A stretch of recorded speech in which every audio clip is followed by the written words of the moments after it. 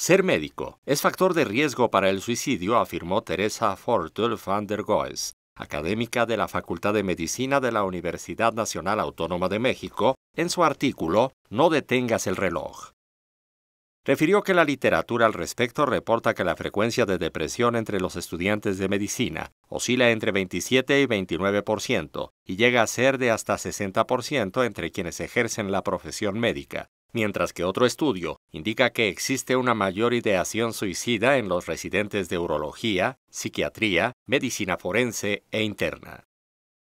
La doctora en ciencias expuso que los motivos de esta situación pueden ser varios, desde la carga de trabajo, las presiones del ejercicio profesional, mayor presión por parte de los pacientes y la extremada regulación en las instituciones.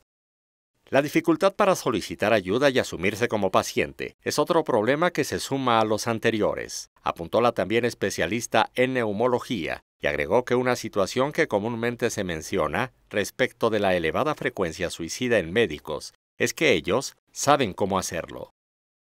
En su artículo Suicidio en médicos, una realidad ignorada, Jorge Alvarado y Edgar Manrique consideraron que programas de intervención temprana en salud mental abordados desde las escuelas de medicina podrían disminuir los síntomas depresivos e ideas suicidas. Aunado a ello, se requieren intervenciones multidisciplinarias que permitan detectar de forma precoz las alteraciones en la salud mental, así como crear políticas de intervención.